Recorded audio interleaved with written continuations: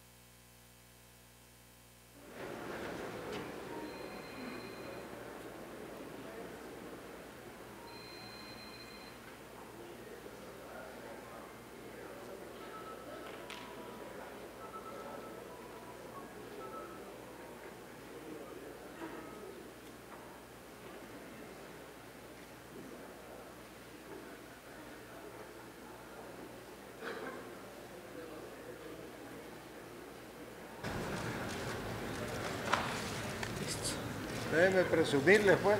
Sí.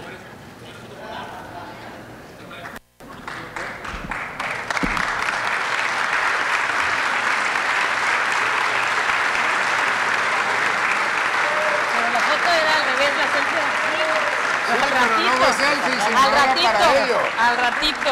Era para ellos. los tomé. Presidentes municipales.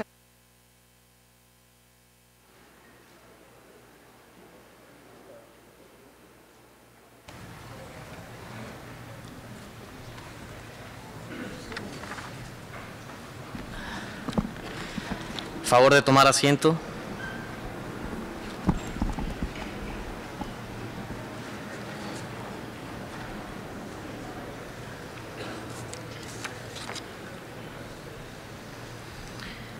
Muy buenas tardes. Sean ustedes bienvenidos a este salón de sesiones del Poder Legislativo, con motivo de la celebración del foro Participación de Fuerzas Armadas en Seguridad Pública. Agradecemos la presencia de la licenciada Mara Lezama, nuestra gobernadora del estado de Quintana Roo.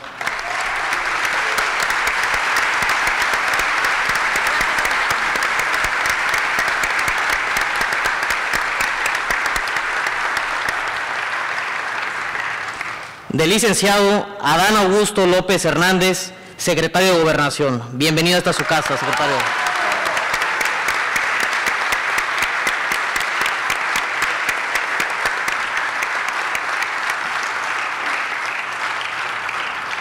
De la magistrada Adriana Cárdenas Aguilar en representación del Tribunal Superior de Justicia del Estado de Quintana Roo.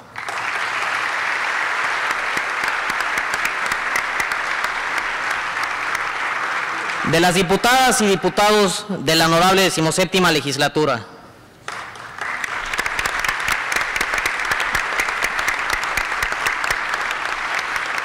De los dignatarios mayas, dignos representantes de nuestro origen.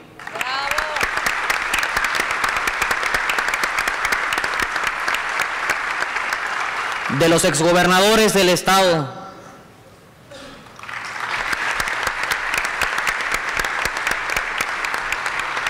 De las Fuerzas Armadas de México.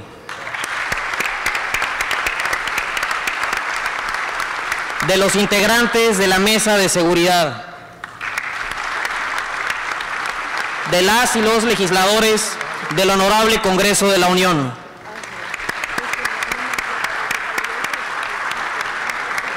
De las magistradas y magistrados del Tribunal Superior de Justicia del Estado y de las consejeras y consejeros del Consejo de la Judicatura del Estado de Quintana Roo que hoy nos acompañan. De las y los presidentes municipales de los honorables ayuntamientos del Estado.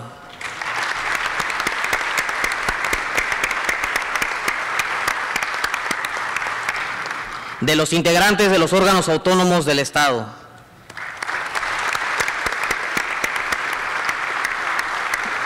de los integrantes del Gabinete Legal y Ampliado del Estado.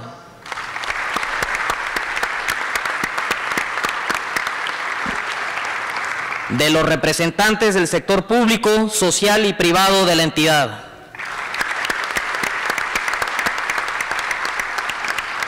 Y de los representantes de los medios de comunicación y del público en general.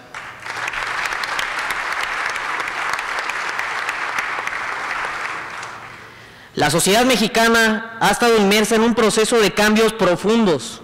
La evolución tecnológica, los fenómenos migratorios, el crecimiento de las ciudades, la pandemia, entre otros, han sido factores que han influido drásticamente en las relaciones interpersonales, trayendo resultados no esperados en el desarrollo individual como en lo social, particularmente resultados negativos en materia de seguridad. La búsqueda del Estado para reducir los niveles de vulnerabilidad de las personas frente a las diferentes amenazas y peligros y garantizar este derecho humano ha sido un reto constante. Una herramienta eficaz es el poder reformador, integrado por el Congreso de la Unión y las legislaturas de las entidades federativas, el cual busca introducir algunos elementos indispensables e incluso innovadores para optimizar el goce y ejercicio del derecho a la seguridad como otros derechos humanos que en nuestra, en nuestra Carta Magna se consagran. Es así que, bajo esta concepción, nos encontramos aquí el día de hoy con la firme convicción de integrar un poder reformador capaz de garantizar la seguridad de nuestros conacionales. Para la solución del problema de seguridad, hemos entendido que los derechos humanos nos pertenecen a todos, no pertenecen a ningún partido en lo particular o a alguna ideología. No son de izquierda, no son de derecha, son de todos. El problema es de todos, por lo que es necesario realizar un verdadero ejercicio de gobierno abierto. Como es de su conocimiento, la reforma al quinto transitorio del decreto constitucional en materia de Guardia Nacional, publicado el 26 de marzo de 2018, en el Diario Oficial de la Federación, Está en proceso de aprobación con las legislaturas de las entidades federativas. Por lo que quiero hacer un especial agradecimiento al licenciado Adán Augusto López Hernández, secretario de Gobernación, por este diálogo en Quintana Roo para exponer ante los diferentes sectores de la sociedad los alcances de este proyecto de decreto y pueda realizarse en esta legislatura de Quintana Roo el debate a esta importante reforma en materia de seguridad. De igual manera, agradezco a nuestra gobernadora Mara Lezama el compromiso asumido desde el primer día en su encomienda en beneficio de Quintana Roo. La inseguridad ciudadana es uno de los problemas prioritarios a resolver, por lo que estoy seguro que seremos aliados en la búsqueda de estrategias para responder a esta añeja exigencia ciudadana.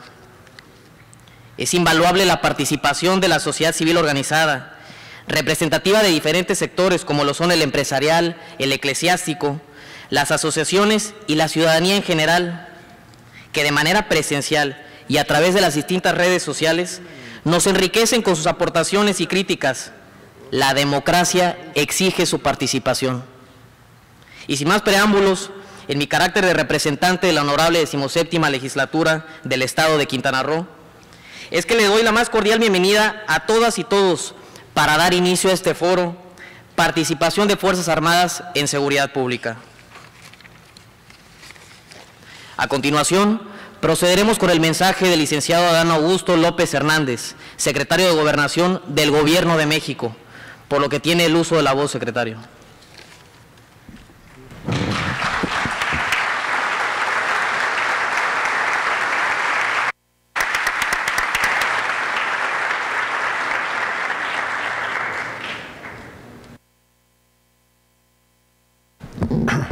Muy buenas noches a todas y a todos ustedes. Y digo noches porque quiero iniciar pidiendo una disculpa.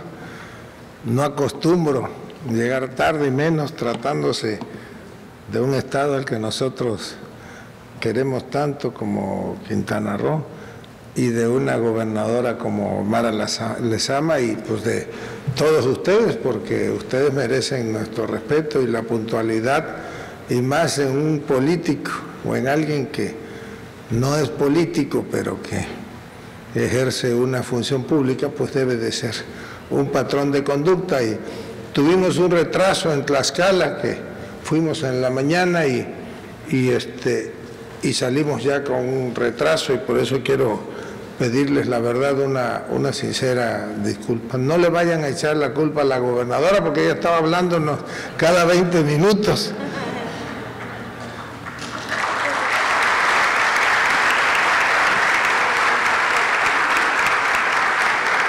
Primero, agradecerle a la gobernadora constitucional del estado de Quintana Roo. Mara, muchas gracias por la invitación. Muchas gracias al presidente del Congreso, porque sin la participación de ellos, pues esta intervención no hubiese sido posible. No les voy a aburrir con, tanta, con tanto rollo, como dicen ahora los jóvenes, pero inicio comentándoles que el señor presidente nos ha encomendado una tarea que es novedosa. Es algo que no se había visto en la historia política de este país y aquí hay varios que han tenido la oportunidad de ser legisladores. Joaquín Hendrix ya fue gobernador, fue senador, creo que también fue diputado este, federal y otros y saben que antes, en el antiguo régimen, se acostumbraba, cuando no habían instrumentos modernos de tecnología, pues se mandaban un, este, un telegrama que decía, ahí les va la reforma constitucional.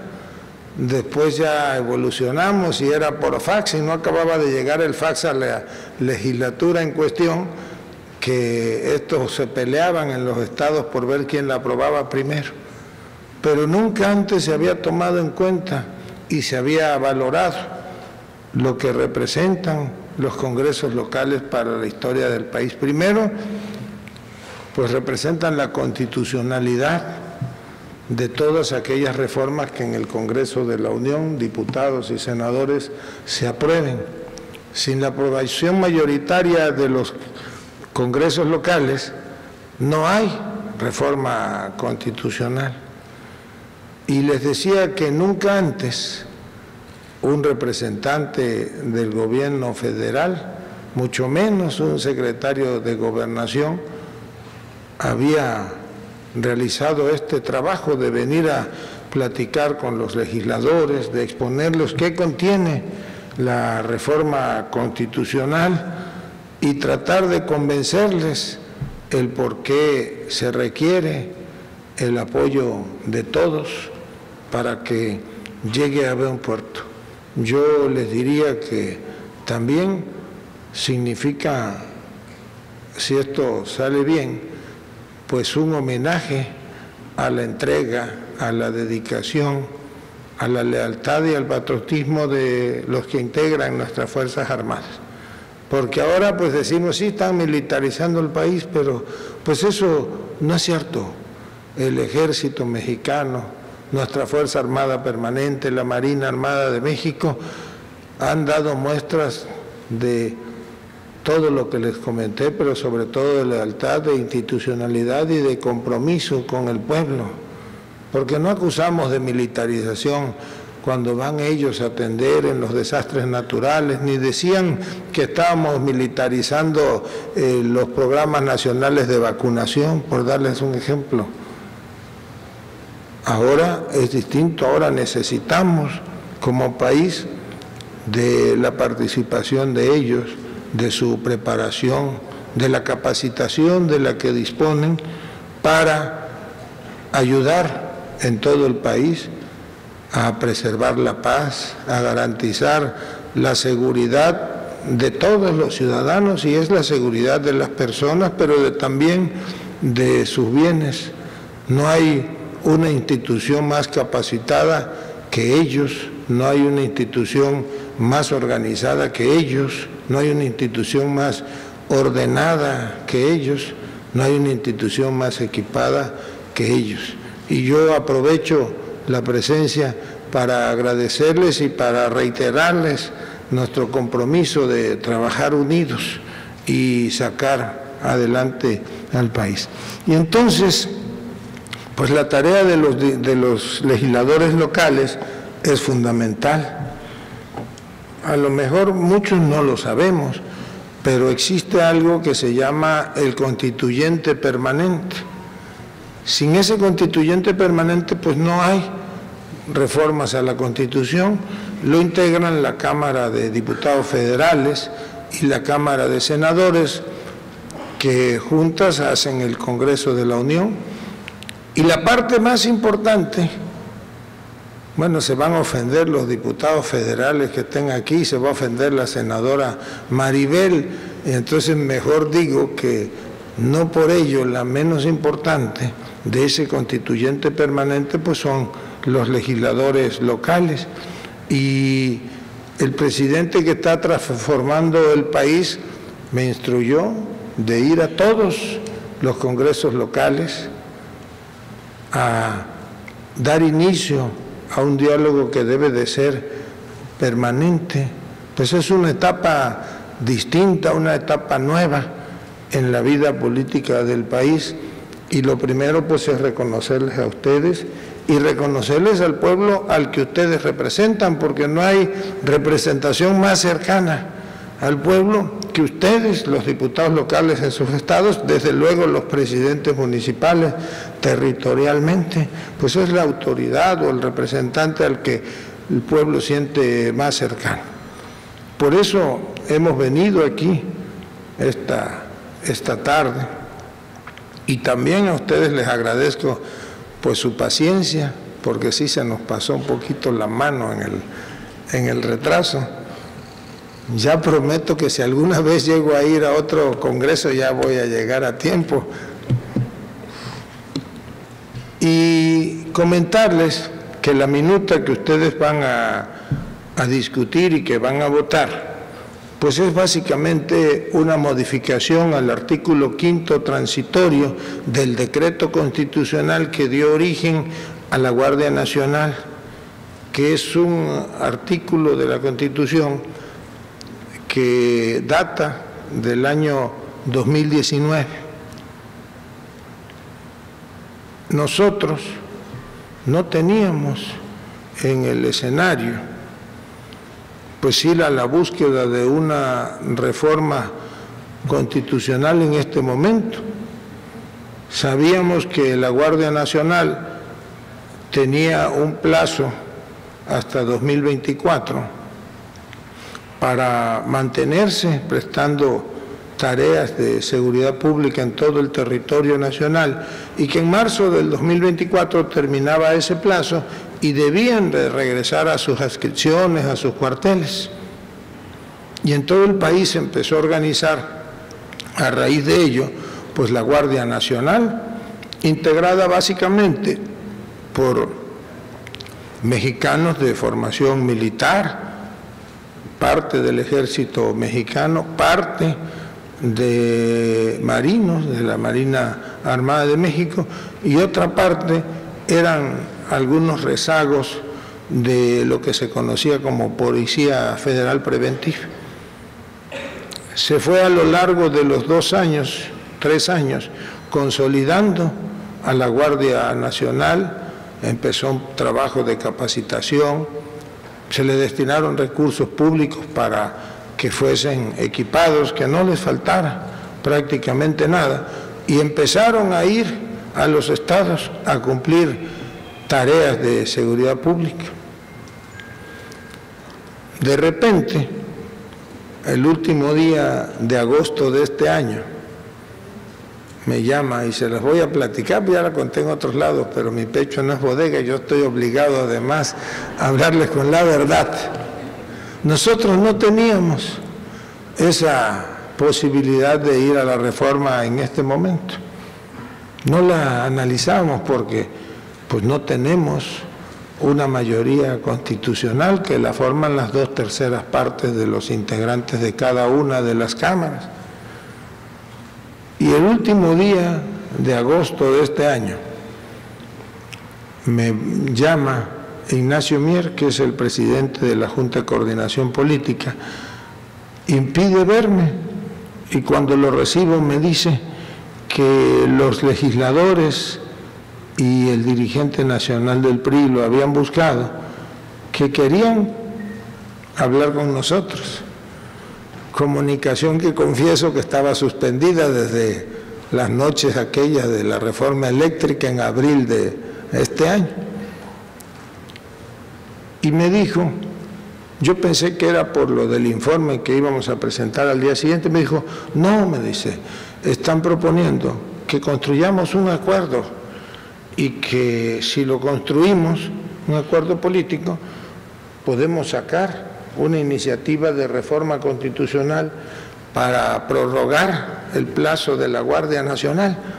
Y le digo, a ver, suena muy bonito, pero explícame y ya me explicó en qué consistía, era modificar que en lugar de que feneciera en marzo del 2024, terminarían en marzo del 2028.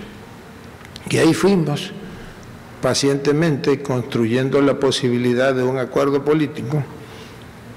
Y el día 2 de septiembre una legisladora del PRI presentó la iniciativa, Yolanda de la Torre, que ahora es presidenta del Tribunal Superior de Justicia en Durango presentó la iniciativa de la modificación en cuanto al plazo.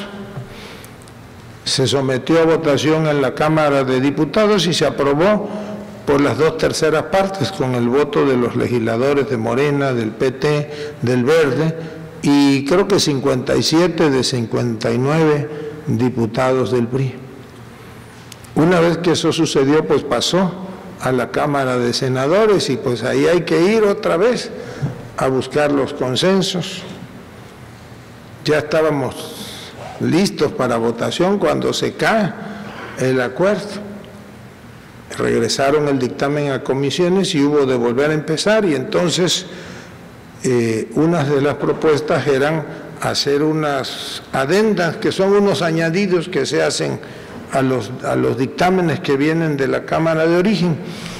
Y finalmente pudo construirse las dos terceras partes, la mayoría constitucional en el Senado de la República, con el voto de nueve de doce legisladores del PRI y el voto de dos senadores del PRD. Y así pues se obtuvieron 87 votos, se requerían 85, mayoría constitucional. ¿Y en qué consisten las adendas?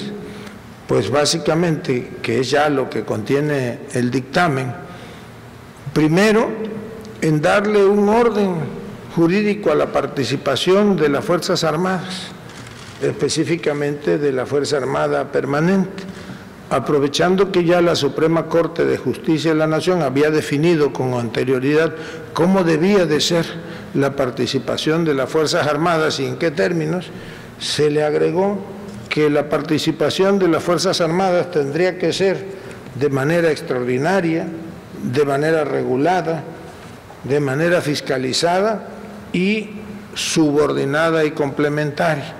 Se define perfectamente y entonces pues aumenta la constitucionalidad de la participación de las Fuerzas Armadas en tareas de seguridad pública. Seguidamente, también le agregaron un párrafo que es finalmente el más importante de toda la reforma, porque ahora sí ya no queda ninguna duda de que es un hecho constitucional el que nuestras Fuerzas Armadas participen en tareas de seguridad pública. Dice ese párrafo, la Fuerza Armada Permanente realizará las tareas de seguridad pública con su organización y medios y deberá capacitarse en la doctrina policial civil establecida en el artículo 21 de la Constitución. Pues esto es todo. ¿Y por qué es todo? Porque uno o dos meses antes se había aprobado algo que llaman reformas a la ley secundaria, que fueron reformas a la ley orgánica de la Administración Pública Federal, reformas a la ley orgánica del Ejército y Fuerza Aérea Mexicanas, una reforma incluso a la ley de ascensos eh, en el sector militar y naval, por la cual la Secretaría de la Defensa Nacional dispone ya de tres instituciones o tres cuerpos para la prestación de sus servicios tendientes a garantizar la seguridad del país.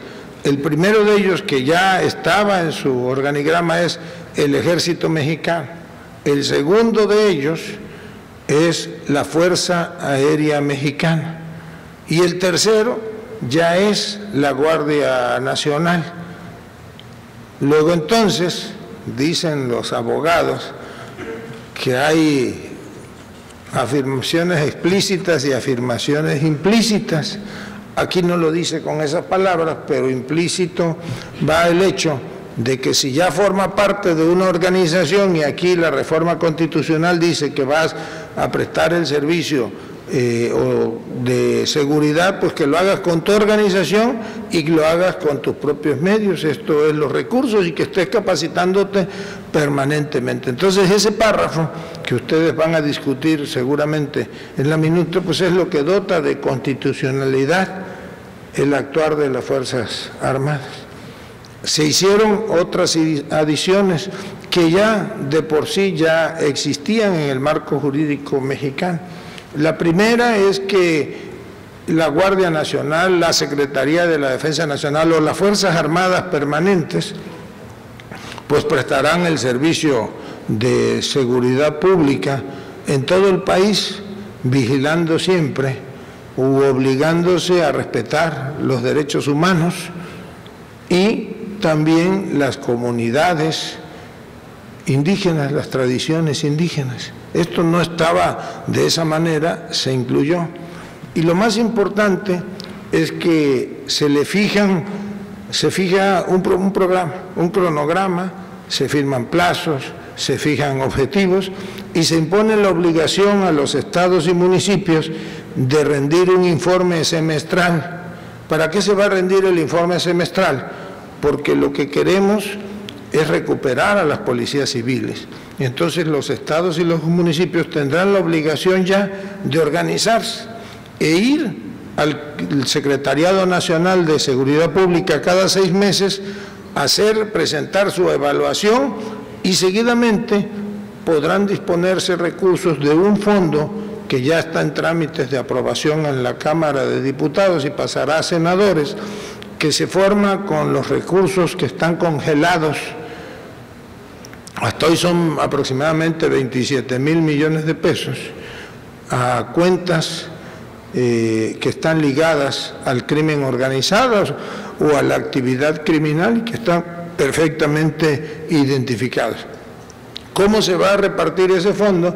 Pues el 40% va directamente para la Fuerza Armada Permanente, para la Sedena y la Secretaría de Marina, y el otro 60% se va a repartir proporcionalmente entre estados y municipios. Todavía los legisladores tendrán que ponerse de acuerdo si primero se atiende a los 50 municipios considerados más violentos del país o se toma otro parámetro de medición.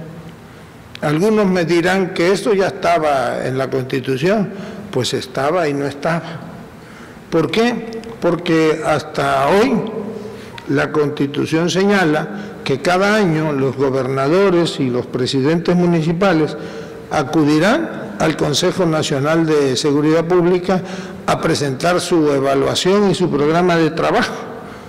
Nada más que como no era una obligación, que ahora sí lo es, pues saben ustedes en todos estos años que han corrido del 2019 a la fecha, cuántos gobernadores y cuántos presidentes municipales han presentado ese informe anual.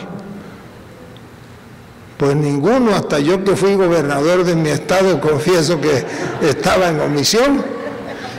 No lo han presentado porque no era una obligación. Entonces ya este, se establece la obligación y la idea del constituyente es la evaluación y eh, la evolución para que en el 2028, a más tardar, pues ya este, vaya saliendo paulatino, vayamos quitándole la tarea al ejército y recuperándolo para las policías municipales o estatales.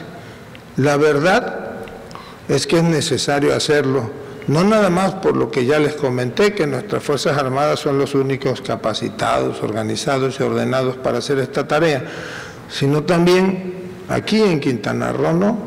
En el sureste prácticamente no, pero hay estados que donde no existen policías municipales, hay municipios de varios estados del país donde no existen ni las estatales ni las municipales por razones hasta políticas, por razones hasta de financiamiento este, para campañas, pues se fueron cediendo los territorios y entonces el que financiaba la campaña exigía que le dieran seguridad pública, así como pedían obras públicas y otras cosas, y se cedían los territorios.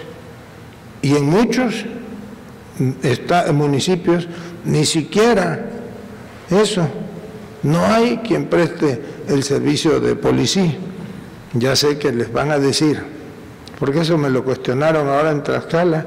No, ¿por qué no les tienen la confianza? Denles el dinero y que le digo, a ver, pues una policía municipal estatal no se va a inventar de la noche a la mañana si no la hay. Pónganse nada más a reclutar jóvenes que quieran prestar el servicio de policía y nos vamos a llevar incluso varios meses en ese proceso y se llevan como tres o cuatro meses en que presenten el examen de control de confianza y empezará la monserga de la capacitación. Entonces no es una tarea que podamos hacer de la noche a la mañana. Y nosotros como gobierno federal, pues lo que queremos es que se recupere la paz, que haya seguridad. Cuando le platicaba ahora a don Gastón Alegre y a Mara Lezama que yo venía mucho pues de niño y después de chamaco aquí a, Quintana Roo, que incluso alguna vez le dije me quedé a dormir en unos, pues una casa, unos departamentos que habían, no sé si todavía existen en lo que es el Palacio de Gobierno, pues era territorio. Quintana Roo fue el último territorio en convertirse en Estado si mal no recuerdo, el último gobernador del territorio fue David Gustavo Gutiérrez y el primero del territorio fue don Jesús Martínez Ross. El segundo creo que fue Pedro Joaquín.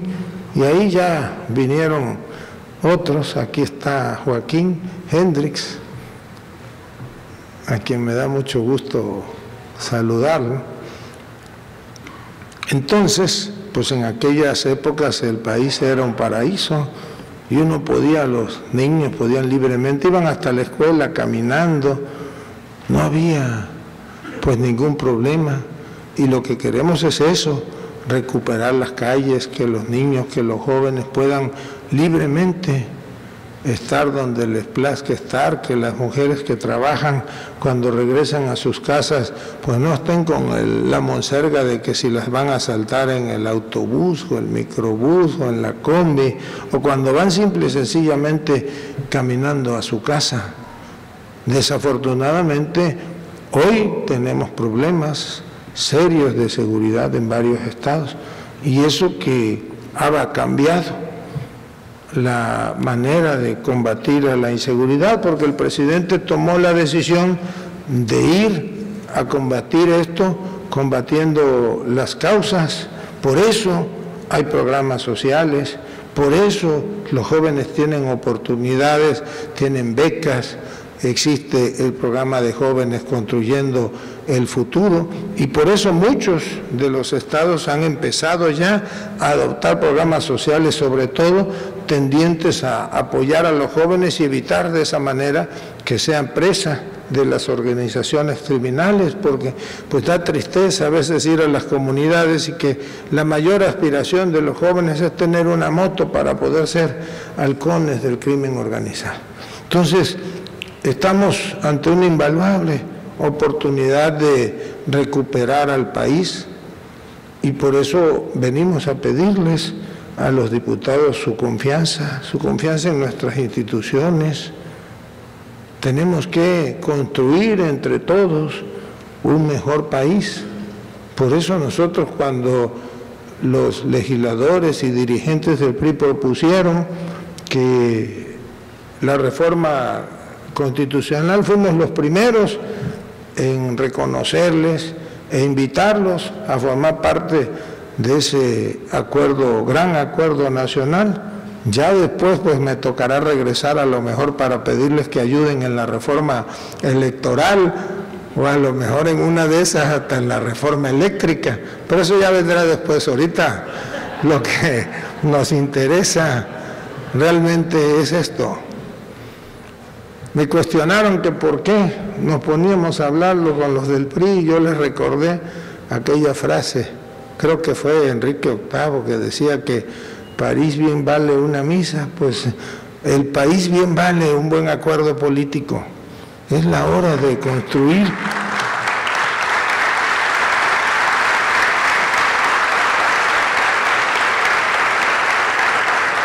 y entre todos pues sacar adelante al país y en el caso de Quintana Roo, pues ratificar el compromiso del presidente de la República, del gobierno federal, con Mara, con ustedes, con el pueblo de Quintana Roo. Tenemos que ir, tenemos que ayudar muchísimo a Quintana Roo porque la verdad es que no hemos sido recíprocos con Quintana Roo. Tenemos que valorar todo lo que Quintana Roo le aporta al país, le aporta políticamente, socialmente, económicamente. Lo que ustedes representan para el Producto Interno Bruto, bueno, creo que así se llama, eso dicen los economistas, nacional, pues es de vital importancia. Ahora tenemos que buscar la manera de ser recíproco con ustedes, de combatir la desigualdad, en Quintana Roo. Lamentablemente hay mucha desigualdad y conviven dos, tres, hasta cuatro Quintana Roo porque son como un espejo. De un lado, la abundancia que se vale del desarrollo turístico, a pocos kilómetros ahí están las ciudades perdidas, las colonias donde hace falta agua, donde no hay transporte público, donde no hay alumbrado, donde no hay pavimentación en la parte norte. Y tenemos también que integrar a la parte sur de Quintana Roo. No podemos, ese tiene que ser el compromiso y yo sé que es uno de los objetivos de, de Mara, tiene que haber homogeneidad en Quintana Roo, nada más hay un solo Quintana Roo, no hay el Quintana Roo rico y el Quintana Roo pobre, eso tiene que terminar y nosotros vamos a ayudar a Mara. Mara le va a poner todo su empeño, todo su corazón. Sí voy a decir que es la mejor, va a ser la mejor gobernadora en la historia de Quintana Roo.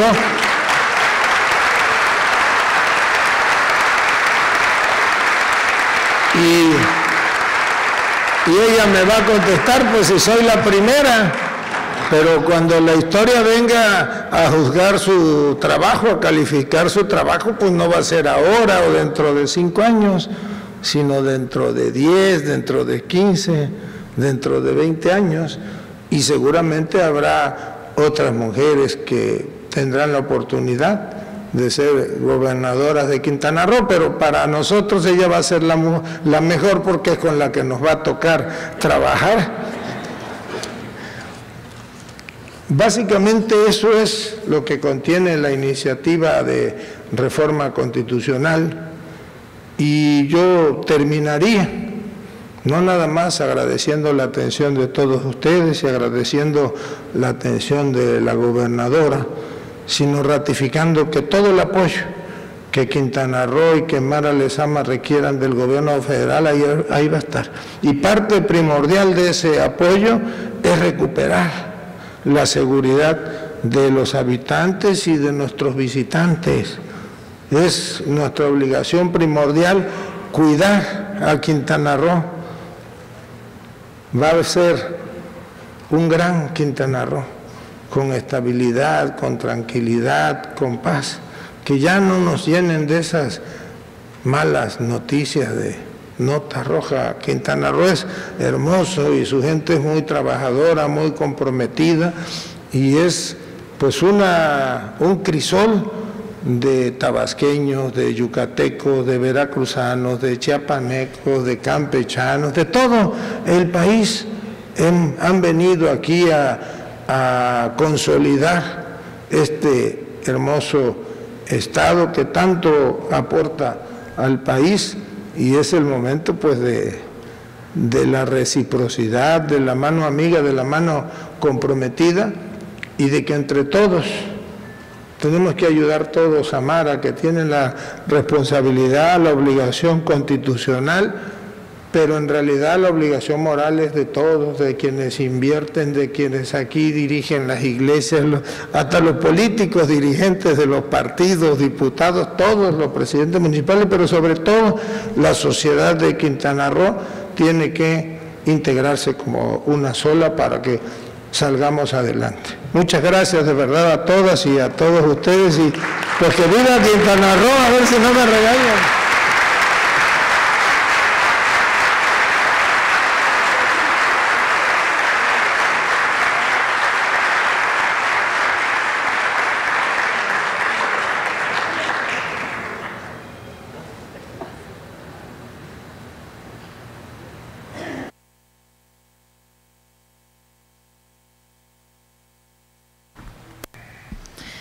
Dando continuidad, se procederá con la participación de los coordinadores de los grupos legislativos y de las representaciones legislativas por un tiempo máximo de tres minutos. Se le concede el uso de la voz a la diputada Elda Candelaria Ayuso Achach, representante legislativa del Partido Revolucionario Institucional.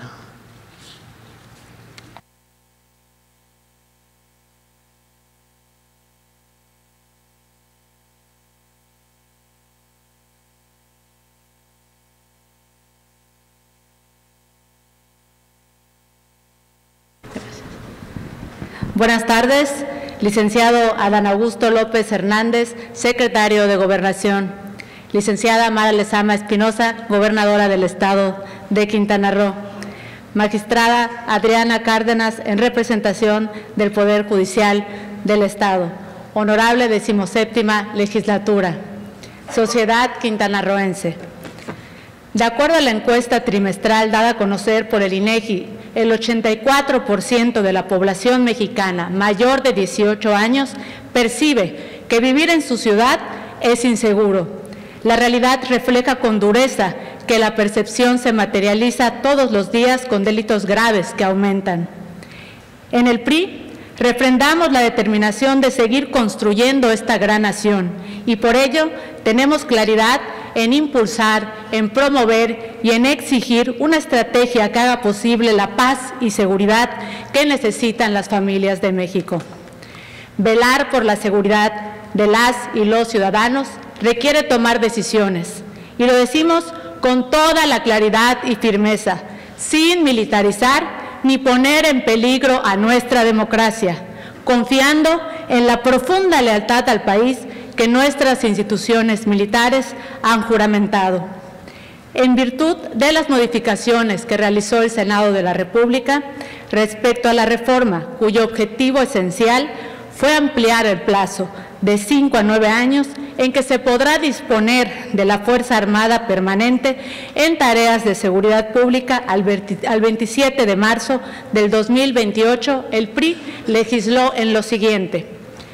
Los términos que regirán la participación de la Fuerza Armada son en la temporalidad referida exclusivamente, además de estar regulada y fiscalizada se estableció que las tareas que se realicen serán conforme a la doctrina policial civil establecida en el artículo 21 de la Constitución y nunca tendrán por objeto sustituir a las autoridades civiles de otros órdenes de gobierno. Se integrará una comisión de senadores y diputados quienes podrán citar a los titulares de gobernación, de seguridad y protección ciudadana, de defensa nacional y de Marina a presentar informes de sus acciones. Los gobernadores remitirán anualmente a los congresos locales y al Consejo Nacional de Seguridad Pública una evaluación sobre el programa para el fortalecimiento del estado de fuerza y las capacidades institucionales de sus respectivos cuerpos policiales estatales y municipales. A partir del 2023 se establecerá un fondo permanente de apoyo a las entidades federativas y municipios para el fortalecimiento de sus instituciones de seguridad pública. El 25% de este fondo se asignará a las entidades federativas con los mejores resultados. Los estados establecerán también anualmente un fondo de apoyo a las instituciones de seguridad pública de los municipios en especial para los de menor población o mayor grado de marginación. Sin seguridad y sin democracia no puede haber libertades, justicia social ni desarrollo. Los priistas siempre estaremos del lado de la ciudadanía con profunda responsabilidad. Es cuanto. Muchas gracias.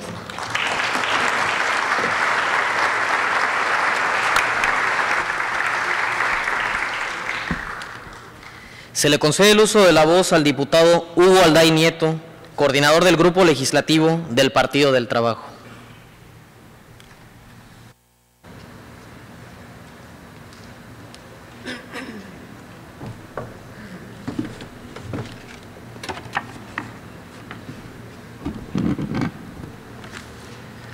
Muy buenas tardes. Saludo con respeto al ciudadano secretario de Gobernación, Adán Augusto López Hernández, es un gusto tenerlo aquí. Saludo con mucho cariño a la primera gobernadora constitucional del estado de Quintana Roo, Mara Lezama Espinosa, bienvenida. A la magistrada Ariana, Adriana Cárdenas Aguilar, en representación del Poder Judicial, bienvenida. Y a nuestro compañero, el diputado presidente de la Junta de Gobierno de Coordinación Política de esta decimoséptima legislatura, Renan Sánchez Tajonar, a nuestros compañeros de esta decimoséptima legislatura, buenas tardes, y saludo también a todos aquellos que nos ven y nos escuchan por el entorno digital y a todos aquellos que nos acompañan en esta tarde. Bienvenidos. Después de una larga y oscura noche, los primeros rayos del amanecer hacen que entrecerremos los ojos y no comprendamos que las tinieblas están yendo. Ese es el momento que estamos transitando hoy en México. Y es entendible. La oscuridad de la noche neoliberal fue intensa, violenta y más terrible de lo que hubiéramos imaginado jamás. Pocas ideas han sido tan perversas, hicieron tanto daño al corazón de la patria como concebir que las fuerzas de seguridad sirvieran para extraer dinero y el dolor del pueblo. ¿Cuánto desamparo han sentido millones de mexicanos en los últimos 30 años por la inseguridad? ¿Cómo fue posible que los supuestos líderes de una nación pidieran cuotas económicas a sus sistemas de seguridad? que se crearan mecanismos municipales, estatales y nacionales de extorsión sistemática e imparable, traicionando la primera función de un Estado, que es la seguridad de sus habitantes. Pero ese era apenas el atardecer, las tinieblas aún serían mayores. Cuando el pueblo herido luchaba por adaptarse y continuar, las nubes negras llegaron. El Estado debía retirarse, dictó el neoliberalismo depredador el dinero fue lo más importante y la función primaria pasó a un segundo plano por acumular riqueza. La falta de humanidad se convirtió en gobierno. Deterioradas las fuerzas de seguridad, renunciaron a su función con total cinismo. Y llegó lo peor. En la mayor parte del escenario nacional, las policías, así como los organismos de procuración de justicia, permitieron al crimen organizarse y propagarse como peste robustecerse hasta lo impensable y finalmente se doblegaron a los intereses más oscuros. Esta locura tiene su peor momento en el, en el, lamentable y dramático hecho de la muerte de 43 jóvenes aspirantes a ser profesores de primarias en pequeñas comunidades rurales. Y allí la noche mostró su peor rostro, la impunidad y la injusticia. Los supuestos dirigentes de nuestro país, burlándose en el escenario público, afirmando verdades fantasiosas e imposibles, cubrieron la, la espalda de un Estado fallido. La esperanza de reconstruir el Estado nacional, de recuperar el monopolio de la violencia, de que el pueblo convertido en guardia nacional proteja a los suyos, de que la responsabilidad y el compromiso comanden de nuevo las fuerzas de orden, primero federales y posteriormente estatales y municipales, es un amanecer deslumbrante, anhelado por todo mexicano que quiera a su gente y a su patria. Hoy nuestra entidad se encuentra dentro de las más peligrosas de México y con datos superiores a la media en percepción de inseguridad y de resultados en, procuración de justicia. Nos entregaron un Estado en pedazos. Por ello, compañeros legisladores, desde el Partido del Trabajo los invito a unirnos a este despertar. La oscuridad nos cubrió a todos, sin importar el color o la ideología. Todos hemos padecido este abandono, todos hemos sido víctimas de este desamor a la patria emanado de autoridades que abandonaron sus responsabilidades. Pero nuestra patria sigue sangrando por los peores motivos y dirigido por el anhelo de trascender, de servir las Fuerzas Armadas nos han defendido en los momentos más cruciales y este, compañeros diputados, es uno de ellos. Que esos valores nos guíen para apoyar la permanencia de la Guardia Nacional en funciones y plazos planteados y seamos vigilantes nosotros de sus acciones para que en los años venideros sepan que esta decimoséptima legislatura hizo una gran contribución a la paz y creó las bases para la seguridad permanente de la que podremos disfrutar y sentirnos orgullosos. Es cuanto, muchas gracias.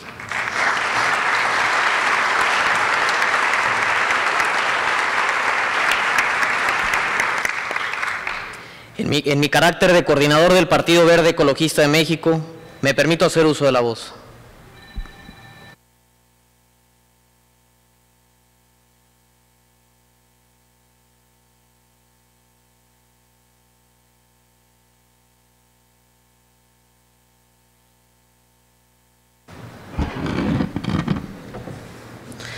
Con su permiso, secretario de Gobernación, licenciado Adán Augusto López Hernández, y de nuestra primera mujer gobernadora de Quintana Roo, Mara Lezama.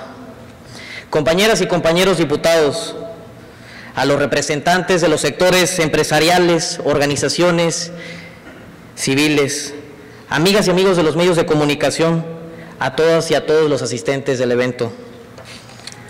Hablar sobre la Estrategia Nacional de Seguridad es privilegiar el fortalecimiento del Estado de Derecho, la protección de las y los mexicanos y garantizar la tranquilidad y seguridad en el país.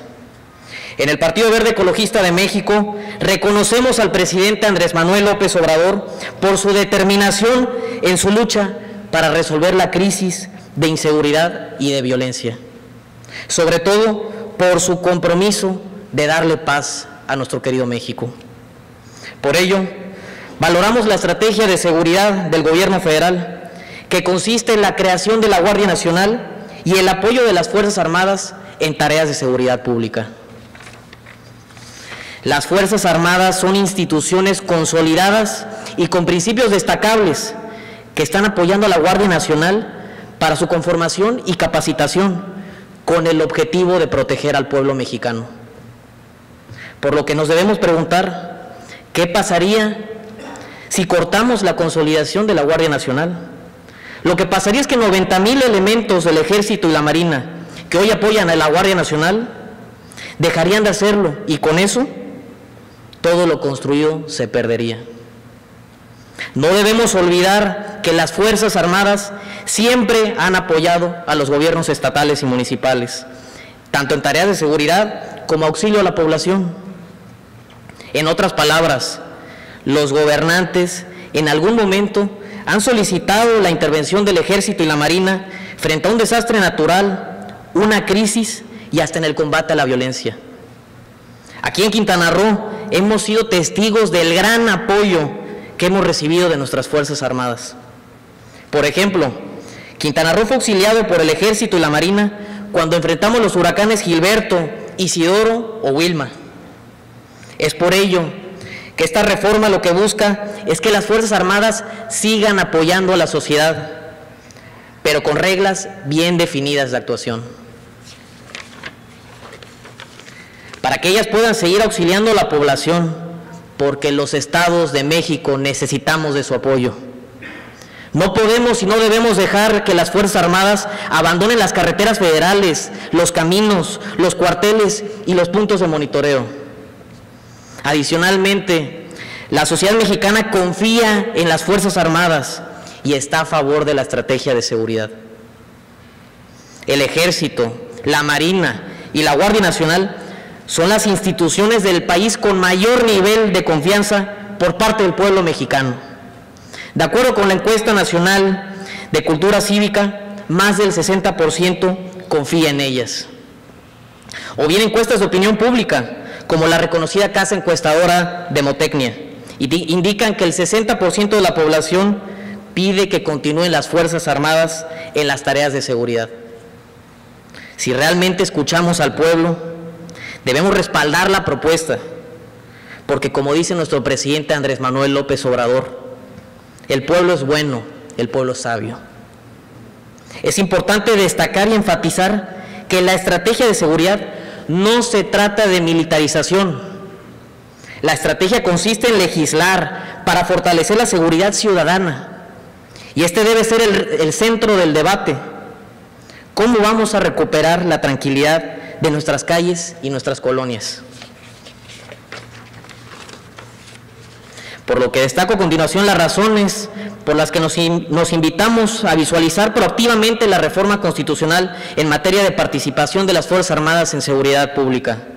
Primero, se amplía de 5 a 9 años el apoyo de las Fuerzas Armadas en tareas de seguridad pública, es decir, tienen más tiempo para madurar a las policías locales. Segundo, se robustece la naturaleza civil debido a que las Fuerzas Armadas que colaboren en la seguridad deberán capacitarse en la doctrina policial. Tercero, las Fuerzas Armadas no van a sustituir al gobierno en sus tareas. Cuarto, aumentarán los recursos para fortalecer a las policías locales. Quinto, se presentará un informe semestral al Congreso de la Unión sobre el avance de las tareas de seguridad y la labor de las Fuerzas Armadas. Informe que será analizado y dictaminado por una comisión bicameral. Sexto, se establece una evaluación en una perspectiva de seis años de los cuerpos policiales, estatales y municipales para asegurar que su maduración sea un éxito. Amigas y amigos, como quintanarroense y cozumeleño, me he dedicado a platicar mucho con la gente, escuchar su sentir y conocer sus necesidades. Creo que ustedes también lo han hecho y podemos llegar a la conclusión que la seguridad es un tema principal de nuestros conciudadanos. Porque la seguridad pública no es solo sinónimo de tranquilidad, la seguridad es también continuar con el crecimiento económico, es la llegada de miles de turistas al año, es que Quintana Roo siga siendo el destino más importante de México a nivel mundial. Es sobre todo hacer de esta tierra un estado seguro, donde miles de ciudadanos de todo el país vieron una oportunidad para cumplir sus sueños y formar a sus familias. Sé que no es un tema sencillo, pero la situación que vive México y vivimos en Quintana Roo en materia de seguridad es de urgencia. Necesitamos apoyar, necesitamos hacer equipo con el gobierno federal, con todos los niveles de gobierno y con toda la sociedad. Como diputadas y diputados de Quintana Roo, el Verde Ecologista de México tiene un compromiso con el pueblo y esto también significa transformar a Quintana Roo en un estado seguro para nuestro pueblo. Por ello, me sumo a esta iniciativa que millones de mexicanos pedimos, sí a la modificación del artículo quinto transitorio. Agradezco sinceramente su presencia, estimado secretario. Por favor, por favor transmita a nuestro presidente todo nuestro respaldo desde el Grupo Legislativo del Partido Verde Ecologista de México, desde el Congreso de Quintana Roo, para que la transformación de México y Quintana Roo sea una realidad. Muchas gracias.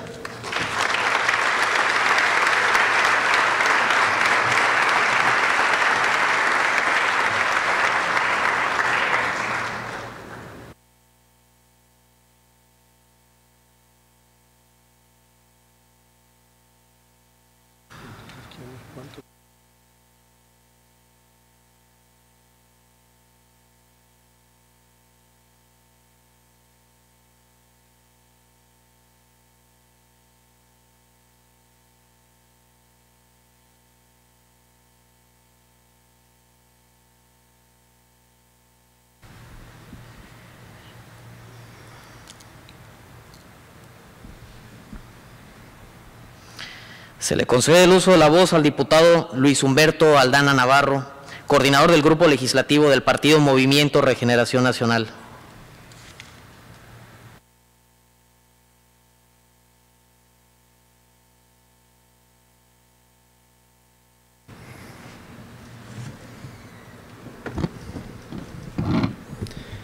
Muy buenas tardes a todas y a todos. Sean bienvenidos y bienvenidas a esta su casa. Ciudadano secretario de Gobernación del Gobierno de México, licenciado Adán Augusto López Hernández, bienvenido. Ciudadana gobernadora constitucional del Estado Libre y Soberano de Quintana Roo, licenciada Mara Lezama Espinosa, bienvenida a tu casa. Ciudadana magistrada Adriana Cárdenas Aguilar, en representación del presidente del Tribunal Superior de Justicia del Estado y del Consejo de la Judicatura, bienvenida. Ciudadano presidente de la Junta de Gobierno y Coordinación Política del Honorable Congreso de Estado de Quintana Roo, licenciado Renan Eduardo Sánchez Tajonar. Compañeras y compañeros diputados de la Honorable Decimoséptima Legislatura del Honorable Congreso del Estado de Quintana Roo, autoridades de las Fuerzas Armadas Federales, presidentes y presidentas municipales de los municipios del Estado de Quintana Roo, bienvenidos ciudadanas y ciudadanos que nos acompañan que nos, eh, y a quienes nos siguen por los diferentes medios de comunicación, autoridades del Gobierno del Estado, personas aquí reunidas, dignatarios mayas, sean todos bienvenidos. Juré nunca mantenerme en silencio cuando los seres humanos soportasen sufrimiento y humillación. Siempre debemos tomar parte. La neutralidad ayuda al opresor nunca a la víctima. El silencio alienta al torturador, nunca al torturado. Elie Wiesel, Premio Nobel de la Paz en 1986, dijo estas palabras. Paz, un anhelo del ser humano que por años ha intentado conseguir a través de la diplomacia, de los acuerdos, consensos, declaratorias y demás instrumentos jurídicos que los líderes internacionales, nacionales y locales han promovido, promovido con el objetivo de contener y obtener la paz social que tanto se ansía. Los conflictos sociales que hoy en día enfrentamos no son de guerra o conflictos bélicos, no por lo menos en el continente americano. Es para nosotros un gran honor el poder recibir en este recinto la visita de usted, señor secretario, y de su equipo de trabajo, a quienes agradecemos llevar a cabo este foro Participación de las Fuerzas Armadas en Seguridad Pública, ya que es de suma importancia el poder dejar claro con información y no únicamente con posturas políticas, algunas sorprendentemente en contra del proyecto de la Guardia Nacional, vertidas principalmente por quienes sin argumentos, bases jurídicas ni estrategia alguna, decidieron utilizar irresponsablemente al Ejército y la Marina, nuestras más sólidas y respetadas instituciones de acuerdo a la opinión pública, para declarar la guerra, la llamada guerra contra el narco, antes de atacar de origen las causas que lo fomentan y al mismo tiempo depurar y fortalecer a las corporaciones de seguridad pública. En ese sentido, congratulo las acciones emprendidas por el ciudadano presidente de la República, licenciado Andrés Manuel López Obrador, quien de la mano de la licenciada Mara Lezama Espinosa, gobernadora del estado de Quintana Roo, encaminarán al estado a un ambiente de paz y de seguridad humana. Somos conscientes de la necesidad de contar con instituciones que cumplan con las expectativas de quienes nos han dado su confianza para ejercer cada cargo que ostentamos y ocupamos. Me refiero a las y los ciudadanos, quienes a partir de una sistemática campaña de desinformación han sido confundidos y manipulados acerca de este tema, haciéndoseles creer que está por llevarse a cabo una militarización con fines de imponer un Estado represor y autoritario como el que nos impuso el viejo régimen. Nada más lejos de la realidad. Es del dominio público que a través del tiempo el deterioro de las corporaciones de seguridad pública, fomentado por la instalación de un régimen basado en el desmantelamiento de las instituciones públicas para beneficio de unos cuantos cuyo eje operativo es la corrupción, ha devenido en una gran incertidumbre, falta de credibilidad y menoscabo de la autoridad moral que estos cuerpos requieren para su ejercicio. Es fundamental identificar y, diferenciar a la seguridad nacional de la seguridad pública con el fin de establecer sus alcances operativos y tener claridad en el mando. Estoy seguro que con la participación de las Fuerzas Armadas en las tareas de seguridad pública, de forma extraordinaria, regulada, fiscalizada, subordinada y complementaria, se avanzará en el combate a la inseguridad, a la violencia y delincuencia organizada. Las condiciones de inseguridad en México demandan acciones que garanticen resultados en un corto plazo y que se, que se traduzcan en beneficio de la población. Por ello, consideramos que es esencial la aportación en calidad moral, respeto y lealtad que nuestras ah, Fuerzas Armadas han brindado a la vida pública de México desde su creación, mismas que son base de la solidez institucional que sin duda perciben los ciudadanos en cada actuación de la Guardia Nacional a lo largo y ancho del territorio quintanarroense. Por lo anterior, el grupo legislativo del Partido Morena se pronuncia sin duda alguna a favor de la aprobación de la continuidad del Ejército y la Marina Armada de México como parte fundamental de la Guardia Nacional, para poder consolidarla como el baluarte que para nuestra ciudadanía es ya en este demandado tema de la salvaguarda de su seguridad, principio fundamental del Estado moderno y obligación nuestra como representantes del pueblo. Adelante con el proyecto transformador de nuestra vida pública. Muchas gracias.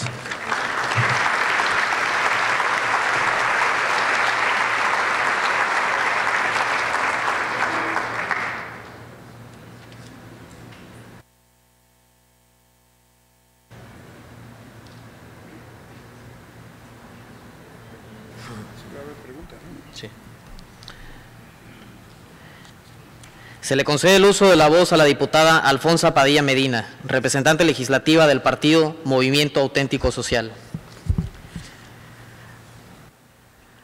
Muy buenas tardes a todas y a todos los presentes. Señor secretario de Gobernación, licenciado Adán Augusto López Hernández. Licenciada Mara Ledesma Espinosa, gobernadora constitucional de nuestro Estado magistrada Adriana Cárdenas en representación del Poder Judicial, Diputado Renan Sánchez Tajonar, presidente de la Junta de Gobierno y Coordinación Política. Compañeros y compañeras diputados y diputadas, distinguidos asistentes que hoy nos acompañan. Después de escuchar con atención las palabras que el día de hoy nos ha dirigido el señor secretario de Gobernación, en nombre de mi partido Más, Más Apoyo Social, me permito expresarle lo siguiente. No existe duda de que uno de los problemas de los que más se duele la sociedad mexicana y en especial la quintanarroense desde hace ya varios años es la falta de seguridad pública y por tanto merece una inmediata atención. En las últimas épocas se nos ha dicho que la única manera de enfrentar y poder combatir con algún éxito es el problema de la inseguridad. Es mediante el apoyo de las Fuerzas Armadas de nuestro país. La seguridad pública, que, esta necesidad proviene fundamentalmente de que la policía municipal, estatal y federal ha sido cooptada infiltrada y rebasada por las distintas manifestaciones de la criminalidad. En nuestro partido creemos firmemente en la democracia y consecuentemente avalamos y respetamos a las autoridades legalmente constituidas, por lo que pensamos que éstas siempre están buscando el bien común Asimismo, tenemos la convicción que nos debemos a la sociedad de la que provenimos y formamos parte. Y esa base social nos demanda y manifiesta las inquietudes que hoy en su mayoría tienen una respuesta. Es por eso que hoy, a nombre de mi partido, les digo que trabajemos en equipo por más seguridad y repito, más, más apoyo social con seguridad Agradezco a todos su atención. Es cuanto.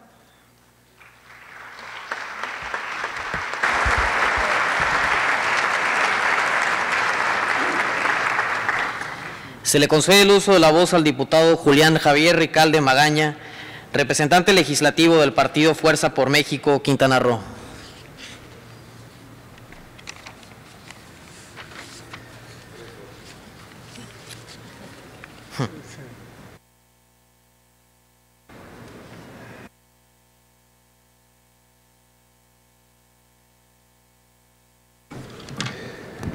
Buenas tardes a todas y a todos. Con el permiso de los organizadores del foro, señora magistrada, compañero presidente, compañera y muy querida gobernadora, señor secretario de Gobernación, sea usted bienvenido. Lo íbamos a esperar, aunque tardara cinco horas más. Nos interesa mucho este tema decirle que tratar de darle números y estadísticas a quien seguramente es uno de los hombres más informados de este país, pues resultaría ocioso. Le agradecemos mucho al presidente de la República, y hágaselo saber los quintanarroenses, por la inversión histórica que se está haciendo en este estado, con el tren Maya, con el distribuidor Colosio, con el aeropuerto de Tulum y con muchas otras obras que se están haciendo y que ayuda mucho eh, al, al Estado. Nos da mucho gusto oír de usted el reconocimiento de, que, de lo que aporta Quintana Roo en materia de Producto Interno Bruto, pero también de divisas turísticas, de el ingreso por, por, divisas por el turismo. Y aquí me recuerda un, un viejo adagio que dice que amistad que no se refleja en la nómina es pura demagogia. Entonces, aprovechamos para pedirle que ese reconocimiento público que hoy día hace con los quintanarroenses se pueda ver reflejado en el pacto federal a través de los recursos que mucha falta le hacen a los quintanarruenses, que es un estado de inmigrantes, joven estado, y que todos los días llega gente eh, con independencia de la población flotante que tenemos a merced del turismo. Esto quiere decir que quienes hemos tenido la oportunidad de dirigir algún ayuntamiento, sabemos que es muy complicado, sobre todo la dinámica de la zona norte del Estado, que todos los días crecen y que se necesita para poder dar servicios públicos, para poder dar seguridad pública. Yo vengo de la izquierda, de siempre, y el tema de la militarización es un tema complicado y que duele por la historia de este país. Yo creo que ese pudiera ser un falso debate. Decía un jurista español, si hay paz y bienestar para los ciudadanos, no importa si tienen un rey, un demócrata o un tirano. Lo que queremos son resultados. Lo que queremos es no que haya 90 mil, que haya 100 mil, que todo el ejército, toda la marina, todos se dediquen a que haya paz. Ese es el verdadero debate, los resultados. Necesitamos que se fortalezcan las policías municipales, que se fortalezcan las policías estatales y por supuesto que tengamos el apoyo, y no solo el apoyo, la coordinación de las Fuerzas Armadas, del Ejército, de la Marina. Para nadie es nuevo que, que si no hay coordinación, aunque haya 20 instituciones diferentes, no van a ver los resultados que se requieren. Dicho esto, señor secretario, y que de veras estoy yo muy agradecido a este Parlamento abierto, esto es inédito, que se invite a la sociedad a conocer, eh, este, es de agradecerlo, como también le repito, es de agradecer la inversión que se hace, porque con datos de la CEPAL, México es el país más desigual de América Latina. Y lo ha dicho el presidente muchas veces, si sigue habiendo desigualdad, no va a haber justicia ni paz social. Yo termino diciéndole que a nombre de mi bancada, que solo soy yo,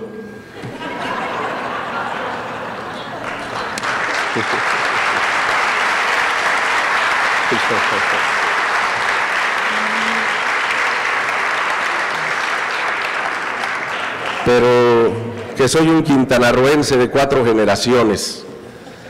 Quiero que mi Estado viva en paz porque no tengo a dónde irme. Aquí están mis vivos y mis muertos. Muchísimas gracias.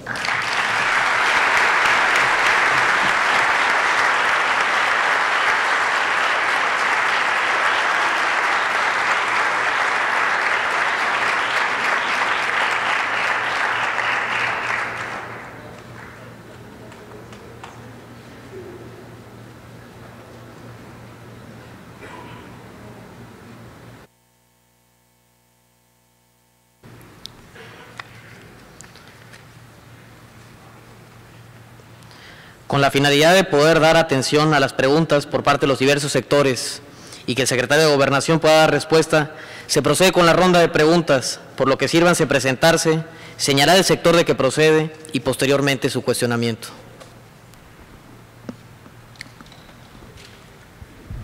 Buenas tardes, secretario. Buenas tardes, gobernadora. Empresario de Quintana Roo. Y como empresarios estamos muy preocupados en lo que está sucediendo de inseguridad en todo el país y por ende en Quintana Roo. Estamos preocupados porque pueda considerarse un estadio de sitio militar como se ha promulgado en diferentes foros que no va acorde a lo que se está hablando en este momento. Y la pregunta es enfática, es saber cuál es la estrategia que va a llevar las Fuerzas Armadas para regresar la paz y la tranquilidad que los mexicanos necesitamos. Están.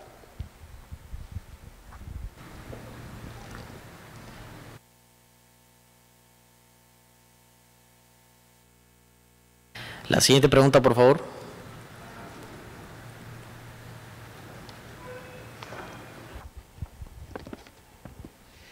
Buenas tardes, Luis Armando Herrera Quiam, secretario general del Sindicato de Taxistas Lázaro Cárdenas del Río y representante también de todos los sindicatos en conjunto con mis compañeros que se encuentran de ese lado del estado de Quintana Roo. Eh, saludo, por supuesto, al secretario de Gobernación, presidente del Congreso, nuestra gobernadora Mara Lezama y a la magistrada. Y la pregunta en este tenor sería, ¿qué garantía tenemos de que con el ejército se garantice la seguridad de los ciudadanos, toda vez que mucho cuenta la percepción de lo que podamos ver con las Fuerzas Armadas en las tareas de seguridad pública. Gracias. Siguiente pregunta, por favor.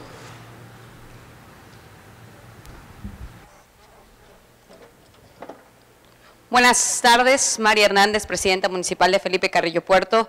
Eh, señor secretario, más que una pregunta, una explicación muy básica, eh, de manera más coloquial, porque aquí vemos muchos políticos y políticas, que vemos quizá esas explicaciones de todos los diputados, a lo mejor del color de donde militamos, pero los que estamos aquí somos los que también, gran parte, estamos en, la, en territorio y que allá afuera es donde necesitamos que nuestra gente entienda que no es la militarización. Entonces es una explicación muy breve, de manera coloquial, repito, del por qué las Fuerzas Armadas no es eh, militarizar a nuestra seguridad pública. Muchísimas gracias.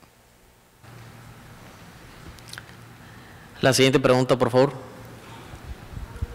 Buenas tardes, Gabriela Santana del sector religioso. Queremos como sector conocer la estrategia específica para recuperar no solo la paz que todos anhelamos, sino los valores como sociedad a través de las Fuerzas Armadas en las calles, porque van a estar presentes en la colonia, en nuestra ciudad, en nuestras calles, y esa es la situación que como sector religioso nos interesa de manera específica, cómo recuperarla, porque ya no podemos hablar de preservarla, porque no hay paz. No hay paz en las colonias, no hay paz en las ciudades y queremos, queremos esa recuperación y queremos ser parte de ese proyecto también como sector religioso. Muchas gracias. Siguiente pregunta, por favor. Buenas tardes. Mi nombre es Martín de la Cruz, soy secretario general de la CROC. Saludo al licenciado Adán Augusto, secretario de Gobernación, y me da mucho gusto también saludar a nuestra primer mujer gobernadora. Toda la fe de los trabajadores contigo, gobernadora. Eres una luchadora social en la que confiamos y estamos convencidos que habrá paz social. Me gusta mucho cuando dices, esa riqueza que se ve allá se debe reflejar también acá con los trabajadores. Cuando los trabajadores logren cubrir sus necesidades primordiales, habrá justicia en Quintana Roo. Bien, gobernadora, todo el respaldo de los trabajadores organizados. Señor secretario, el ejército es una institución en la que los mexicanos confiamos mucho.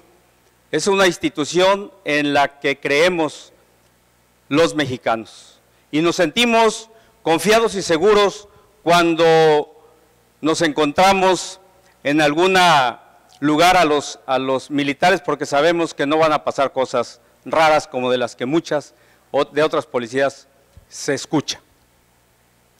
Nuestro ejército tiene una función muy específica y la verdad, qué bueno y reconocemos de nuestro presidente de la República el acierto de buscar que el ejército sea el que ayude, el que se involucre en la seguridad de nuestro país. Sin embargo, me gustaría tener la certeza de que esta reforma servirá para sanear fuerzas civiles y que después el ejército volverá a sus labores. Señor secretario, la pregunta es, ¿qué garantías se tienen de esto? Muchas gracias. Se le concede el uso de la voz al licenciado Dan Augusto López Hernández, secretario de Gobernación del Gobierno de México, para dar respuesta a los cuestionamientos.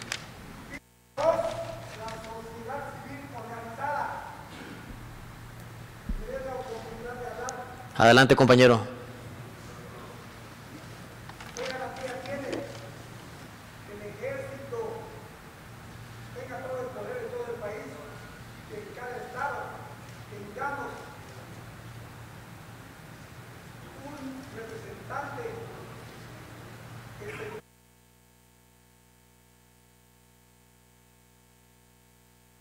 se está haciendo, se está haciendo ese ejercicio. Recuerden que ha habido golpes de Estado en varios países y no dominaba el ejército todas las provincias. Aquí la pregunta que le hago, señor secretario, es si no hay riesgo de un golpe a futuro, teniendo el poder, todo el poder, los militares. Muchas gracias y gracias por escucharme. Señora gobernadora, mis respetos, sé que va a ser un, está haciendo un buen gobierno. En pocos días ha superado seis años de mal gobierno. Muchas gracias.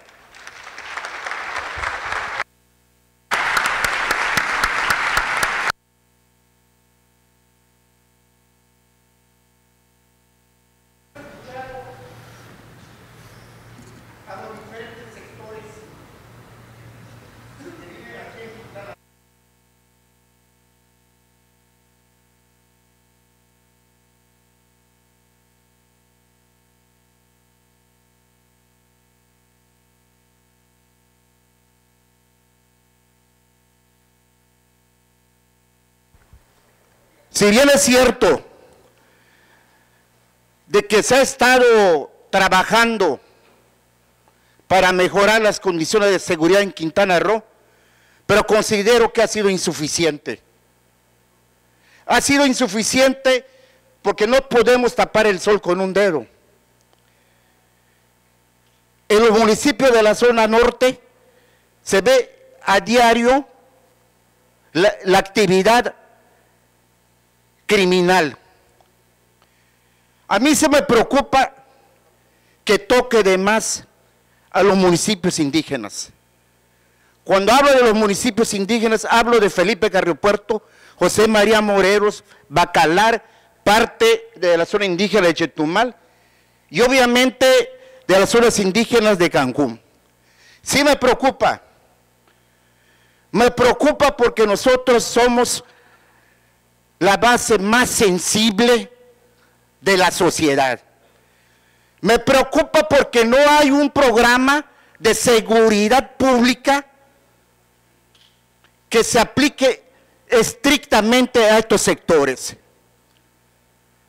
Bueno, pero bien, yo quisiera, señor secretario, he escuchado a mi presidenta municipal, pero yo quisiera agregarle un poquito más de la exposición de mi presidenta municipal. El municipio de Felipe Carriopuerto está ubicado en un, punto estratégico en el estado de Quintana Roo. Es el centro del estado. De ahí confluyen varias carreteras, a Mérida, Valladolid, a Cancún, a Chetumal. Es paso obligado de la gente. Yo sí quisiera pedirle, señor secretario, de que nos eche la mano, que nos ayude, porque yo no quisiera ver a mi pueblo sumido en la, en la delincuencia. Yo sí quisiera pedir al señor secretario, bajo las características de qué centro del Estado, usted, señor secretario, juntamente con nuestra gobernadora, se piense en establecer un cuartel general un cuartel general de todas las fuerzas policíacas que operen en el Estado. Obviamente, bajo, la, bajo el mando de la gobernadora, y ahí tiene que meterse la presidenta municipal para poder de alguna, de, alguna manera evitar este problema, este flagelo social. Es todo lo que lo quiero decir. Muchas gracias, señor secretario. Muchas gracias, señor gobernadora.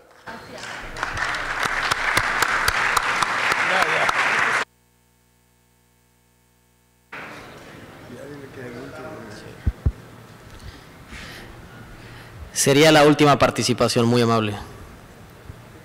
Muy buenas tardes. Mi nombre es Rodolfo Espadas y quiero externar, externarle, señor secretario de Gobernación, gobernadora, la preocupación que tenemos básicamente en el poblado de Majahual. Soy el presidente de la Asociación de Empresarios Turísticos de Costa Maya y empresario de Majahual.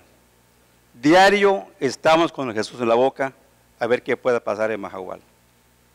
Yo sí quisiera que se pueda dar alguna estrategia por parte de seguridad, por parte de, las autoridades, para fortalecer la presencia de las Fuerzas Armadas en Majahual e instalar un programa de cámaras en Majahual. Hablo a nombre de los empresarios de Majahual. Muchas gracias.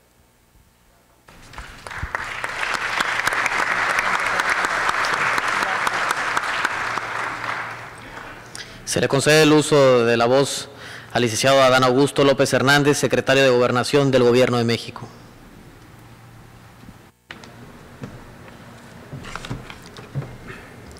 Miren, voy a, a empezar, si me lo permiten, respondiéndole al representante de la sociedad civil que tomó la palabra hace un momento. Ahí está la respuesta, mire. Centenario del Ejército Mexicano, lealtad y servicio a México. No caigamos.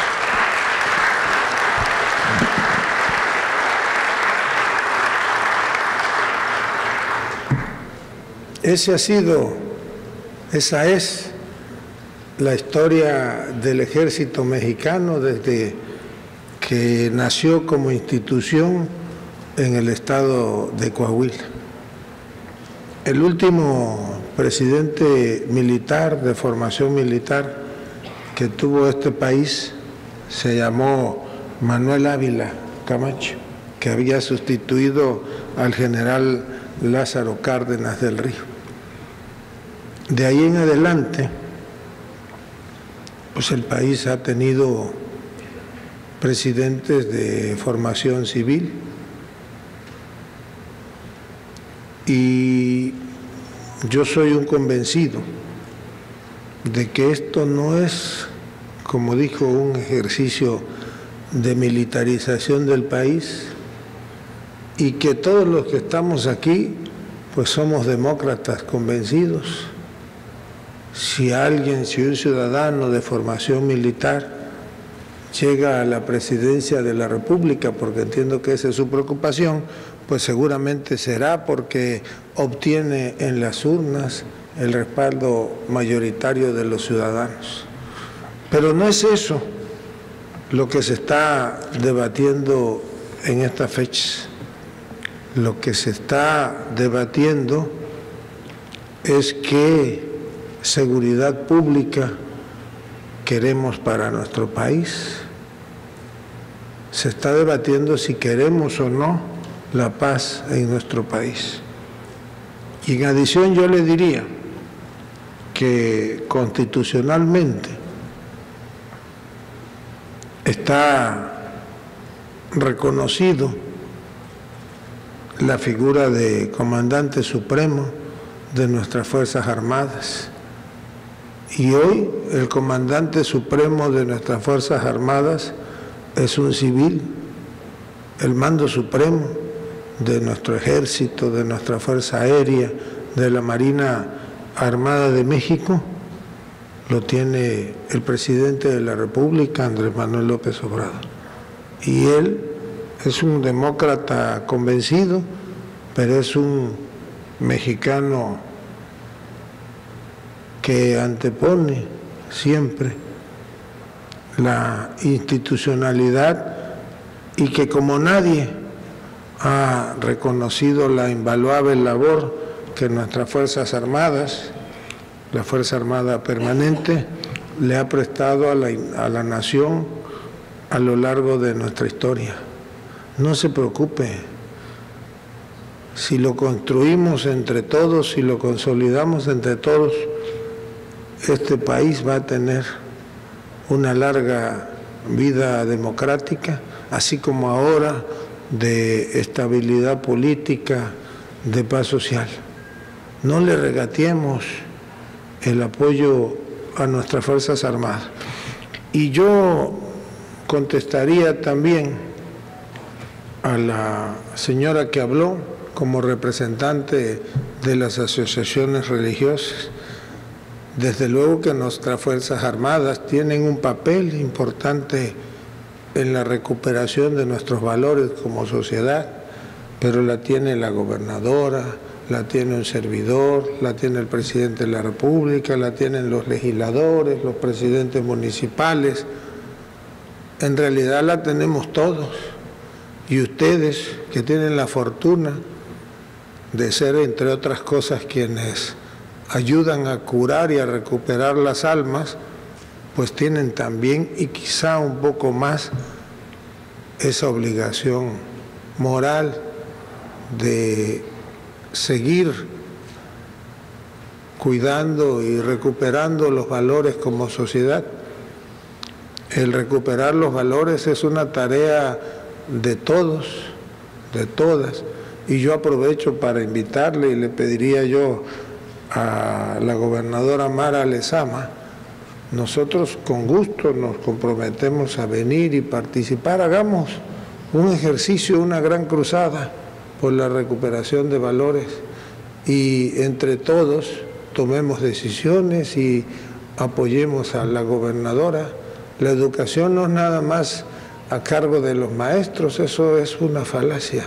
En la educación participa pues toda la sociedad y, yo haría un llamado a ello, a que primero pues nos mantengamos unidos, que no hagamos alegoría de un desastre que no existe. Y aprovecho para responder, pues no está Quintana Roo tan perdido como dicen. Quintana Roo es grandioso. Y miren, el día de hoy se publicó el estudio mensual del Estado que guarda la seguridad pública en el país a nivel general, a nivel nacional, pues desde luego se va ganando paulatinamente y ha habido una baja en la incidencia delictiva. Y Quintana Roo está muy por abajo de la media nacional, está en el lugar 18 en incidencia delictiva y hay delitos en los que efectivamente en homicidio doloso se encuentra hoy en lugar 18. Pasó en el último mes de estar en el lugar 14 a estar hoy en el lugar 18. En donde sí damos mal son en dos delitos. En el delito de abuso sexual que estamos en el lugar número 11 y en el lugar de violencia intrafamiliar Ah, estamos en el lugar número 18 y aquí pues cabe la participación de las iglesias y de las asociaciones religiosas, como lo comentábamos. Ahí en el robo total están en el lugar número 12, en el robo de vehículo en el lugar número 22, en la extorsión están en el lugar número 22 y en el secuestro están ya en el lugar número 27 de 32. Ahí va recuperándose Quintana Roo y tiene seguramente una gran oportunidad a como sucedió en Tlaxcala o como sucedió en Chiapas de ir bajándose, bajando los índices de, de delictivos. Démosle, así como la apoyaron en las urnas, hay que darle un voto de confianza a la gobernadora y a su equipo de trabajo. Y ella se apoya, tiene toda la colaboración de nuestras Fuerzas Armadas, incluso si mal no recuerdo, hoy al frente de la Secretaría de Seguridad Pública hay un marino, un este, pues aquí está,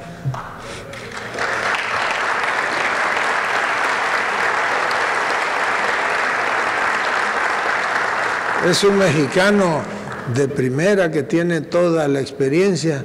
No les voy a platicar cuál es la estrategia de las Fuerzas Armadas para recuperar, porque yo lo tengo prohibido por ley, no puedo revelar eso, pero les diría que hay que tener confianza en nuestras Fuerzas Armadas y en quienes tienen los mandos de las instituciones de seguridad pública a nivel federal y a nivel estatal. Así como hay un comandante supremo de las Fuerzas Armadas, pues quien tiene el mando sobre las fuerzas de seguridad pública en el caso de Quintana Roo es la gobernadora. Y pues no me voy a extender más porque después van a decir que nada más vine a echar puro rollo. Recojo la inquietud de don Rodolfo Espada Asiste. Si me lo permite, pues platicaremos con la gobernadora y en lo que el gobierno federal pueda apoyar, pues desde luego que apoyaremos a, a Majagual y así tenemos que apoyar a todo Quintana Roo. Quintana Roo no está en guerra como algunos que no quieren que vengan los turistas y que se aproveche la riqueza de este hermoso territorio, pues lo hacen. Quintana Roo está unido, está en pie de lucha y no tengan ninguna duda, va a salir adelante y va a seguir creciendo y se va a construir un gran Quintana Roo. Muchas gracias por la generosidad de su atención a todas y a todos ustedes.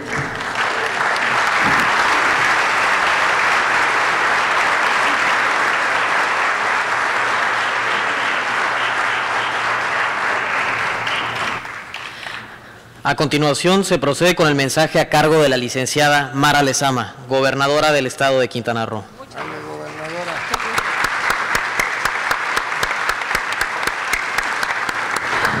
Muy buenas tardes, noches, bienvenidos todos los que han sido ya debidamente presentados. Me, me da mucho gusto verte, querida Maribel, es un placer que estés aquí. A todas y todos, bienvenidos.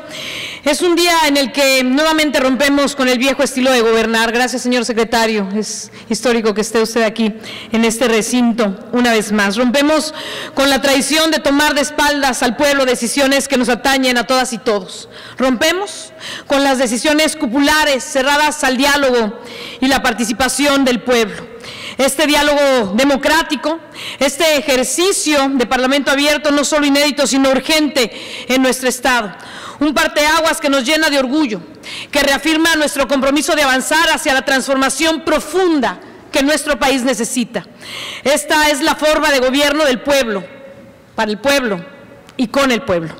Es la primera vez que en la tribuna de nuestro Estado concurren las voces del secretario de Gobernación, de diputadas y diputados locales, de miembros de la sociedad civil y de la titular del gobierno de Quintana Roo.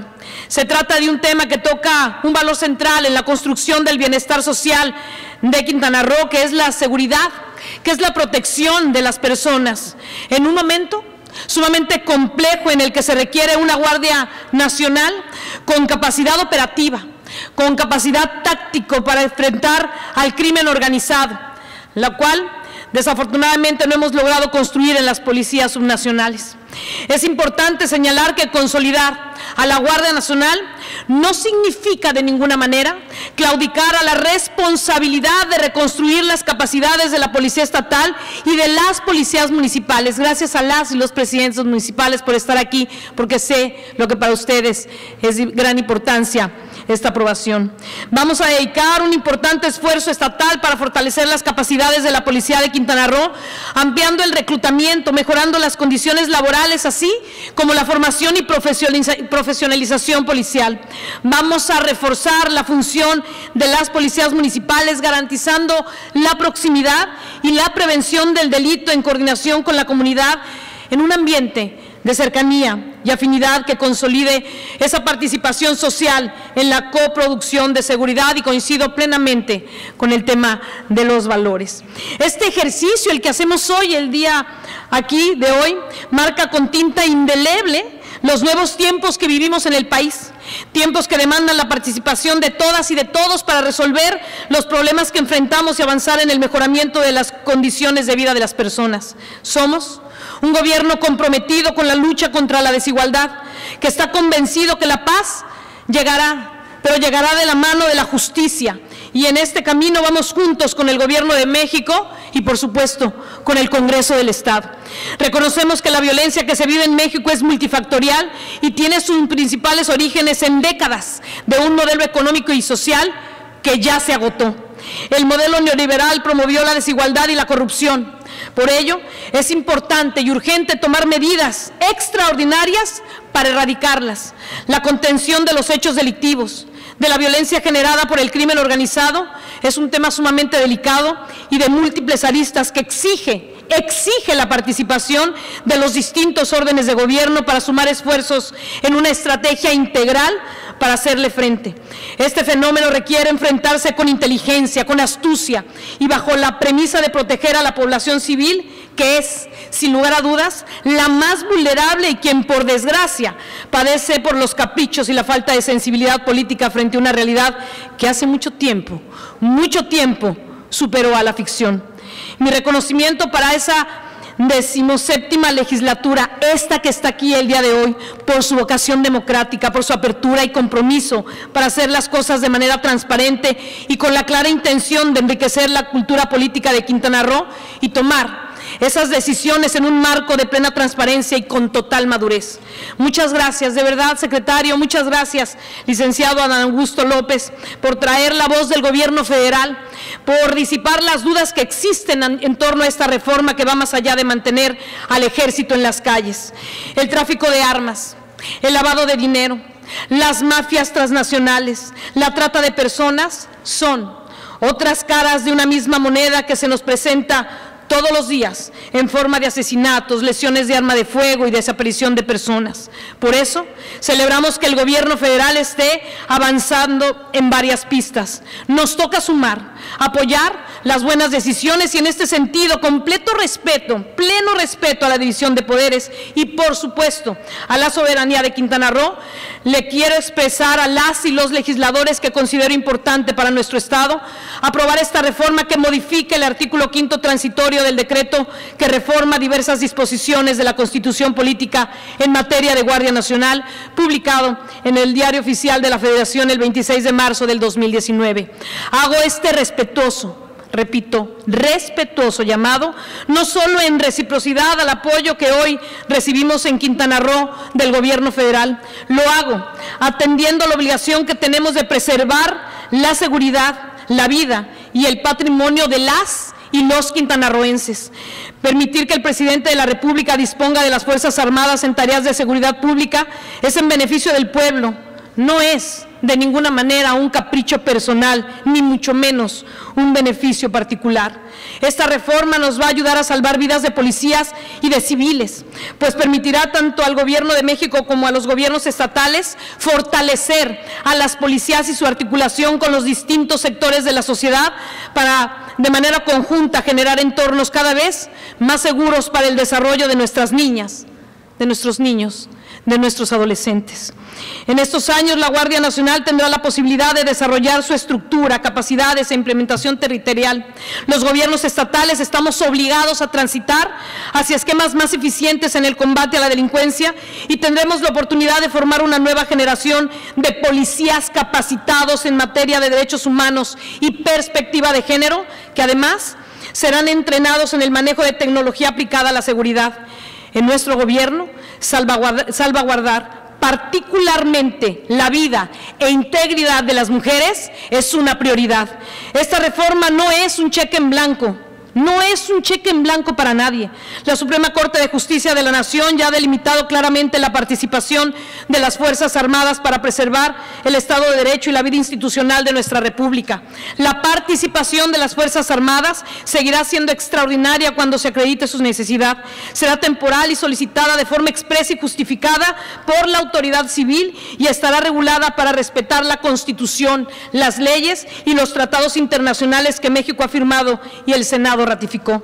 La reforma establece mecanismos de rendición de cuentas y un trabajo subordinado y complementario de forma tal que las labores de apoyo que las Fuerzas Armadas presten a las instituciones de seguridad pública solo puedan realizarse en su auxilio complementario y éstas se deben encontrar debidamente fundadas y motivadas.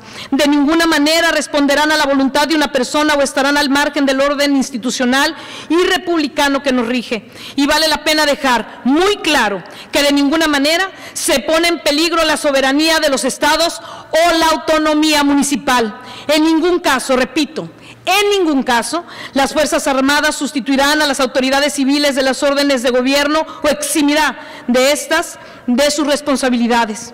Además, el Ejecutivo Federal presentará al Congreso de la Unión su informe semestral, proporcionando indicadores que permitan evaluar los resultados obtenidos y corroborar el respeto a los derechos humanos y a los del pueblo y comunidades. Sé que hay muchas personas que tienen ciertas reservas a que los militares colaboren en las, en las tareas de seguridad pública, porque su formación militar da una visión castrense.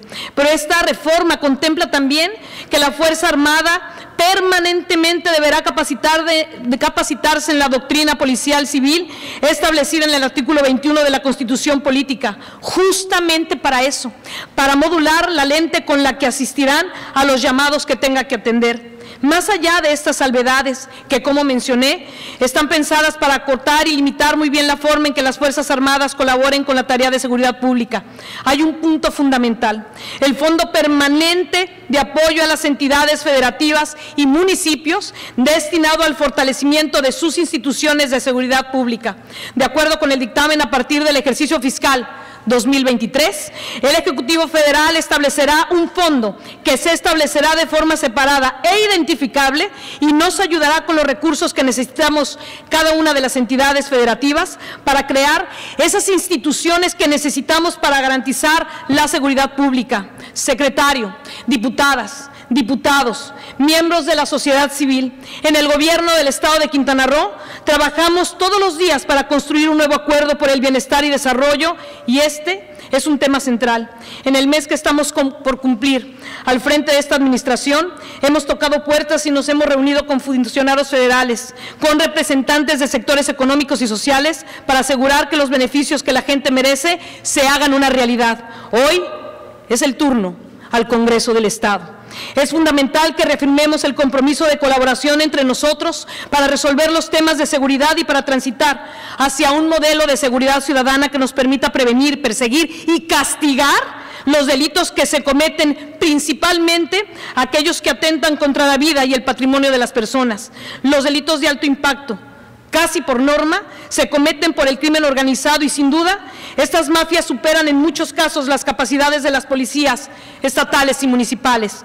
Tengo la plena certeza que esta legislatura aprobará de manera unánime esta reforma porque es en beneficio de la ciudadanía y es un tema prioritario para todas y para todos nosotros. No sobra recordar las cifras que reflejan el problema que debemos resolver y por el cual, en gran medida, la gente nos eligió. El 78% de las y los quintanarroenses se sienten inseguros. Cuatro de cada cinco habitantes consideran la inseguridad como el principal problema por resolver y ocupamos un lugar importante en el índice de paz México 2022. Por si esta fuera poco, el 70% de las y los quintanarroenses percibe corrupción en el Ministerio Público y fiscalías estatales. Nueve de cada diez delitos no se denuncian y el 51% de las carpetas de investigación iniciadas, según la ENVIPE 2022, no pasó nada absolutamente nada. No sirvió para llevar justicia a los hogares que fueron golpeados por la delincuencia. A la luz de todas estas circunstancias y la obligación moral, repito, la obligación moral que tenemos de resolver y coadyuvar para cerrarle el paso a la delincuencia, les pido nuevamente dejar al margen nuestras diferencias partidistas, cerrar filas y aprobar esta reforma por el bien de Quintana Roo, por el bien de nuestro país, por el bien de México. Muy pronto nos tocará iniciar con el trabajo para seguir haciendo historia y transitar a un modelo de seguridad ciudadana y fortalecer las capacidades institucionales y de investigación de nuestra policía. Hoy, por el momento, esta noche, no me queda más que agradecer nuevamente su presencia, su disposición al diálogo de manera histórica, su voluntad de construir un parlamento abierto y reiterar un respetuoso llamado para sumarnos a los estados de Oaxaca, Chiapas, Tabasco, Campeche, Sinaloa y a la Ciudad de México que ya aprobaron esta valiosa reforma. Que viva Quintana Roo, que viva México. Muchas gracias.